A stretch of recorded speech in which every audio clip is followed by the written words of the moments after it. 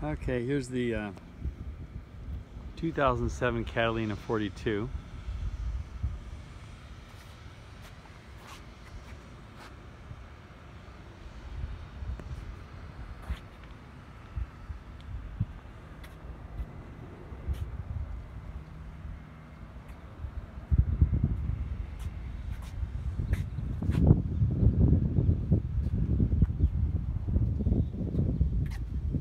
Very clean.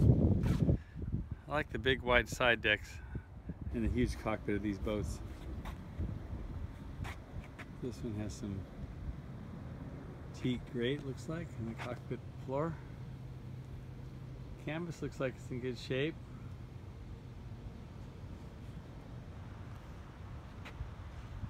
There's a bimini frame